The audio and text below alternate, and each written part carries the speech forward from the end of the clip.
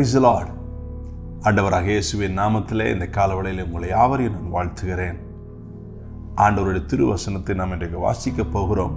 நாம் வழக்கமாக தொடர்ச்சியாக வாசித்து கொண்டு வந்த வரிசையில் இன்றைக்கு வசனத்தை வாசிக்காமல் நாம் தியானித்து வந்த தலைப்பின் பிரகாரமாக இன்னும் ஒரு சில காரியங்களை நாம் அறிந்து கொள்வதற்காக ரெண்டு தெசுலோனிக்க ரெண்டாவது அதிகாரத்தின் பதினைந்தாவது வசனத்தை நான் உங்களுக்கு வாசிக்கப் போகிறேன். ஆகையால் சகோதரரே நீங்கள் நிலை கொண்டு வார்த்தையினாலாவது நிருபத்தினாலாவது நாங்கள் உங்களுக்கு உபதேசித்த முறைமைகளை கை கொள்ளுங்கள் எனக்கு பிரியமா அன்பு சகோதர சகோதரிகளே நேற்று தினத்தில் ஐந்து முக்கிய காரியங்களை பார்க்க கர்த்தர் நமக்கு உதவி செய்தார். அவைகள் எல்லாமே தேவனுடைய குணாதிசயங்கள். தேவன் நம்முடைய வாழ்க்கையில் செய்ய அவருடைய தெய்வத்துவத்தின் ஆளுமை நிமித்தமாய் அதிகாரத்தின் நிமித்தமாய் தேவன் நம்முடைய வாழ்க்கையின் மீது பாராட்டுகிற கிருபைகளை குறித்து பார்த்தோம். ஆண்டவர் தெரிந்து கொள்கிறார் ஆண்டவர் இணைக்கின்றார். ஆண்டவர் பரிபூர்ணப்படுத்துகின்றார். ஆண்டவர் பாதுகாக்கின்றார். ஆண்டவர் வழிநடத்துகின்றார். இது தேவன் நம்முடைய வாழ்க்கையில செய்கிற காரியங்கள். அவருடைய பலத்த கரத்தில் நாம் அடங்கி இருக்கும் பொழுது இந்த ஐந்து காரியங்களை நம்முடைய வாழ்க்கையில நாம் அனுபவிப்பதற்கு ஏதுவாக இருக்கின்றது. இன்றைக்கு நம்முடைய உத்தரவாதத்தை குறித்தும் பொறுப்புகளை குறித்து பார்க்க போகிறோம்.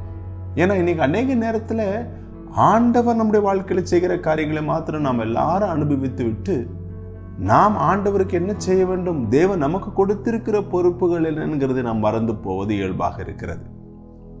ஆண்டவர் எனக்கு இதை செய்யணும் ஆண்டவர் எனக்கு வேலையை கொடுக்கணும் நல்ல வாழ்க்கையை கொடுக்கணும் எனக்கு படிப்பை தரணும் பணத்தை தரணும் பொருளை தரணும் இதை தரணும் அதை தரணும் பதவியை கொடுக்கணும் ஜெயத்தை கொடுக்கணும் ஊதிய உயர்வுகளை கொடுக்கணும் கர்த்தர் மாத்திரம் உங்களுக்கும் எனக்கும் எல்லாம் செய்திடணும். நாம் தேவனுக்கு செய்ய வேண்டிய பொறுப்புகளிலே எந்த அளவுக்கு உண்மையாக இருக்கிறோம்? எனவேதான் இன்றைக்கு மனுஷர்களாக இருக்கிற நாம் செய்ய வேண்டிய எடுத்துக்கொள்ள வேண்டிய பொறுப்புகளை குறித்து பார்க்க போகிறோம். இப்போ உதாரணத்துக்கு நீங்கள் நான் எடுத்துக்கொள்ளும் பொழுது ஒரு மனுஷன் நரகத்திலே தன் முடிவை சந்திக்கிறான் என்று சொன்னால் அது ஆண்டவருடைய பொறுப்பு அல்ல. ஆண்டவர் ஒரு மனுஷனையும் நரகத்திற்கு தள்ள வேண்டும் என்பது அவருடைய விருப்பம் கிடையாது. இது மனுஷனுடைய தீர்மானமும் பொறுப்புமாயிருக்கின்றது. ஏன்னால் தேவன் எல்லா மனுஷனும் நித்திய ஜீவனை அடைய வேண்டும் என்று விரும்புகிறார். ஆனால் மனுஷனோ நித்திய ஆக்கினை அவன் தெரிந்து கொள்வதனால நரகத்திலே அவனுடைய நித்தியத்தை கழிக்க அவன் தெரிந்து கொண்டு அதற்கு அவன் பொறுப்பாளியாய் மாறுகிறான். எனவே நன்றாக புரிந்து கொள்ளுங்கள் பெரியமானவர்களே கர்த்தர் ஒரு மனுஷனையும் நரகத்திற்கு தள்ளுவது அவருடைய விருப்பமும் கிடையாது. நோக்கமும் கிடையாது. ஒரு மனுஷன் நரகத்திற்கு செல்கிறான் என்று சொன்னால் அது மனுஷர்களாக இருக்கிற நாம் எடுக்கிற தீர்மானமும் நம்முடைய பொறுப்பாக இருக்கிறது. நம்முடைய மூன்று பொறுப்புகளை குறித்து நாம் செய்ய வேண்டிய மூன்று காரியங்களை குறித்து நான் உங்களுடன் இன்றைக்கு பேச போகிறேன். அதை குறிப்பாக உங்களுக்கு நான் கொடுக்க போகிறேன். ஒன்று ஒன்றாக இந்த நாள் முதல் கொண்டு பார்க்க போகிறோம். முதலாவது நாம் நிலை கொண்டு இருக்க வேண்டும். நாம் நிலைத்திருக்க வேண்டும். இரண்டாவது நாம் ஜெபித்திருக்க வேண்டும். நாம் ஜெபிக்கிறவர்களாக இருக்க வேண்டும். மூன்றாவது நாம் கீழ்ப்படிய வேண்டும். சுலபமான குறிப்புகள். முதலாவது குறிப்பை பார்க்கலாம். நாம் நிலைத்திருக்க வேண்டும். நாம் எதில் நிலைத்திருக்க வேண்டும்? நமக்கு தேவனுடைய தீர்க்கதரிசிகளும் அப்போசர்களார கொடுக்கப்பட்டிருக்கிற உபதேசத்தை நாம் கேட்டு உபதேசத்தின் முறைமைகளை கை கொள்ளுங்கள் என்று சொல்லி இங்கு அப்போ பவுல் சொல்கிறார் அப்போ நாம் நிலைத்திருக்க வேண்டியது தேவன் தம்முடைய அப்போசரர்கள் மூலியமாகவும் தீர்க்கதரிசிகள் மூலியமாகவும் பரிசுத்த வேதாகமத்தில் கொடுத்திருக்கிற உபதேசங்களை கை கொண்டு நாம் அதன் பிரகாரம் வாழ வேண்டியது அதில் நிலைத்திருக்க வேண்டியது அவசியமாக இருக்கிறது சத்தியத்தை விட்டு நம்ம விலகக்கூடாது. அதனால தான் சில நாட்களுக்கு முன்பாக ஆண்டவராக இயேசு கிறிஸ்துவின் ரெண்டாம் வருகை குறித்து நான் பேசும் பொழுது ரகசிய வருகை என்கிறதை குறித்த போதனை எங்கிருந்து ஆரம்பிக்கப்பட்டது என்கிறதை நான் உங்களுக்கு விவரித்து சொன்னேன். ஆயிரத்தி எண்ணூறாவது ஆண்டுக்கு முன்பாக அப்படி ஒரு விளக்கம் இந்த உலகத்தில் கிடையாது வேதத்திலையும் கிடையாது. அப்போ சிலர்கள் மூலியமாக நமக்கு கொடுக்கப்படாத ஒரு தியானமாக இருக்கிறது. இது பிரபலமாக இருக்கிற காரணத்தினால் நாம் எல்லாரும் பிடித்து கொண்டிருக்கிறோமா என்று கேள்வி கேட்க வேண்டியது நமக்கு மிக முக்கியமான ஒரு காரியம். ஒன்றை புரிந்து கொள்ள வேண்டும் பிரியமானங்களே ஒரு நூதனமான பிரசங்கத்தை நான் கொண்டு வர நான் வாஞ்சிக்கவில்லை.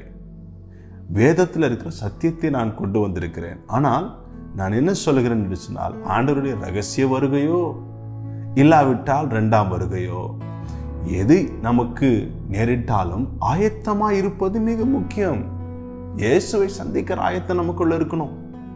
அதுதான் நமக்கு மிக முக்கியமான காரியம் இருக்கணும். அந்த ஆயத்தத்தை நமக்குள் ஏற்படுத்தப்படுவதற்கு தான் அப்போ சிலர்கள் மூலியமாக திக்கதரிசிகள் மூலியமாக தேவன் கொடுத்த உபதேசத்தை நாம் கை கொள்ள வேண்டியது அவசியமாக இருக்கிறது அதில் எந்த விதமான மாற்றுதலை நாம் கொண்டு வரக்கூடாது. நாம் வாழ்ந்து கொண்டிருக்கிற இந்த காலகட்டத்தில் வேத வசனத்தை எடுத்து நவீனமாக அவைகளை மொழிபெயர்க்கிறார்கள். இந்த காலத்திற்கு ஏற்ற வண்ணமாய். வசனத்தை அப்படி நாம் மாற்ற முடியாது. எல்லா காலங்களுக்கும் வசனம் அது பொருந்தியதாக இருக்கிறது கர்த்தர் அவருடைய ஜீவ வார்த்தை கொடுக்கும் பொழுது அது காலகாலமாக செயல்பட்டது. இனி இயேசுவின் வருகை மட்டுமாக அது செயல்படும். அதை நாம் யாருமே நவீன காலத்திற்கு ஏற்ப சத்தியத்தை மாற்ற வேண்டிய அவசியம் நமக்கு கிடையாது. எனவே இன்றைக்கு கர்த்தர் நமக்கு கற்றுக் கொடுக்கிற நம்முடைய முதலாவது பொறுப்பு என்ன? சத்தியத்தில் நிலைத்திருங்கள். வேதத்தின் உபதேசத்தை கை கொள்ளுங்கள். மனுஷனுடைய உபதேசத்தை அல்ல என் உபதேசத்தை அல்ல. வேதத்திலே ஆண்டவர் நம்ம கற்றுக் கொடுத்திருக்கிற உபதேசத்திலே கை கொள்ளுகிறவர்களாய் நாம் இருக்கும் பொழுது அதுதான் நம்முடைய வாழ்க்கைக்கு ஒரு மிகப்பெரிய ஆசீர்வாதமாக கர்த்தர் மாற்றுகிறார். தேவன் தம்முடைய பொறுப்பை செய்ய அவர் உண்மையுள்ளவராக இருக்கிறார். நீங்களை நான் நம்முடைய பொறுப்பை எடுத்துக்கொள்ள நாம் பொறுப்பாளிகளாக இருக்கிறோமா? கர்த்தர் தாமே இன்றைக்கு நம்மோட இடைப்படுவாராக. செபிப்போம் நல்ல பிதாவே இந்த காலவெளியில் கூட நீர் எங்களுக்கு தந்த நல்ல ஜீவனுள்ளபடிய வார்த்தைக்காக நன்றி சொல்கிறோம் ரெண்டாயிரம் வருஷத்திற்கு முன்பாக உங்களுடைய அப்போசர்களை கொண்டு ஆரம்பித்து பல ஆண்டுகளுக்கு பிற்பாடு சத்திய வேதமாக எங்கள் கரத்தில் நீர் அப்போ சிலர்களுடைய போதனைகளை திர்க்கதரிசிகளுடைய திர்க்க தரிசனங்களை இயேசுவின் சுவிசேஷத்தை எல்லாவற்றையும் பூரணமாக எங்களுக்கு வேதத்தில் கொடுத்து தேவனுடைய பிள்ளைகளாகிய நாங்கள் அந்த வசனத்திலே நிலைத்திருக்கிறவர்களாக இருக்க வேண்டும் என்று எங்களை வாஞ்சித்து வேதத்தை கொடுத்திராண்டவரே ஆனால் அநேக நேரத்தில் மனுஷனுடைய பிரபலமான விளக்கங்களை பற்றி கொண்டு இதுதான் சத்தியமாக இருக்கக்கூடும் என்று நினைத்து அநேகராகிய நாங்கள் வஞ்சிக்கப்பட்டிருக்கிறோம். நாம் வாழ்ந்து கொண்டிருக்கிற இந்த காலகட்டத்தில் நவீனம் நவீன உட்பம் என்கிறத அடிப்படையில் வேத வசனத்தை நாம் எடுத்து இந்த காலத்திற்கு ஏற்ப அதை நாங்கள் மொழிபெயர்க்கிறவர்களாக இருக்கிறோம் அதற்காக நாங்கள் வருந்துகிறோம் நாங்கள் மன்னிப்பு கேட்கிறோம். தகப்பனை இயேசுவின் நாமத்தில். உம்முடைய திருவசனத்தின் உபதேசத்தில் நாங்கள் கை கொண்டு நடக்கிறவர்களாய் எங்கள் ஒவ்வொருவரையும் நீர் மாற்றுவீராக என்று நாங்கள் செபிக்கிறோம் சத்தியத்தை விட்டு நாங்கள் விலகாமல் இருக்கும்படி கர்த்த நீர் எங்களுக்கு கிருபை செய்யுங்க ஆண்டவரே. சத்தியம் எல்லாவற்றையும் பரிசுத்த வேதாகமத்தில் நீர் எழுதி வைத்திருக்கிறீர். அதை ஒரு மனிதன் வாசித்தாலே போதுமே ஆண்டவரே. சத்தியம் எங்களுக்கு வெளிப்படக்கூடியதாக இருக்கிறது. முடியும் தேவ ஜனங்களுடைய இருதயத்திற்குள்ள நீர் பேசுங்க மனக்கண்களை திறந்தருளுங்க. வேத வசனத்தின் சத்தியத்தில் அப்போ சிலர்களுடைய உபதேசத்தில் நிலைத்திருக்கக்கூடிய கிருபையை தந்து நீர் வழி நடத்துவீராக ஆண்டவர் இந்த காலவெளியில் கூட எங்கள் தேசத்தின் ரெண்டு அமைச்சர்களுக்காக ஜெபிக்கிறோம். ரேணுகா சிங் அவர்களுக்காக ஜெபிக்கிறோம் ராமேஸ்வர் தெலி அவர்களுக்காக ஜெபிக்கிறோம். தேவ கிருபையின் பிரசனம் ஞானம் பரிசுத்த ஆவியானவருடைய கிருபை தயவின் வரங்கள் செயல்பட எங்கள் தேசத்திற்கு நீ தந்திருக்கிற தேவனுடைய ஊழியக்காரர்களாக எங்கள் தேசத்தின் அதிகாரிகளை நாங்கள் இயேசுவின் நாமத்திலே ஆசீர்வதித்து தேவன் நீர் அவர்களுக்கு ஞானம் தந்து வழி நடத்த கத்து நீர் கிருபை செய்ய வேண்டுமா? நாங்கள் ஜெபிக்கிறோம். எங்கள் தேசத்தை ஆசீர்வதிக்கிறோம். யாரெல்லாம் அந்த டெய்லி டிவோஷன் பார்க்கிறார்களோ அந்தந்த தேசங்களே கூட நீங்கள் ஆசீர்வதிக்க இயேசுவின் நாமத்தை நாங்கள் கெஞ்சுகிறோம். குடும்பங்களுக்குள்ள தேவ ஆசீர்வாதத்தை சமாதான சமாதானத்தை இன்றைக்கு கொண்டு வாருங்க ஆண்டவரே. தகப்பனை இன்றைக்கு பிறந்த நாளை கொண்டாடுகிற தேவ பிள்ளைகள் இயேசுவின் நாமத்தில் நான் ஆசீர்வதிக்கிறேன். தேவனுடைய ஆசீர்வாதத்தை அனுபவித்து பரிசுத்தமாக்கப்பட்டு தேவனிடத்தில் இணைந்து வாழக்கூடிய ஒரு வாழ்க்கை அனுபவத்தை அவர்கள் அனுபவிக்க ஆண்டவர் கிருபை செவிராக இந்த புதிய வருஷத்தில் அமோகமாக உடைய பிள்ளைகளை ஆசீர்வதிங்க நாங்கள் நமக்கு சாட்சிகளாக வாழ கிருபை செய்யுங்க. ஏசுவின் நாமத்தில் ஜெபம் கேளும் பிதாவே ஆமேன் ஆமேன். கத்தர் தாமே உங்களை யாவரையும் ஆசீர்வதிப்பாராக பிரியமானவர்களே. மறுபடியுமாக இந்த தொடரை நாம் பார்ப்போம். நாளை உங்களை சந்திப்பேன். God bless you good bye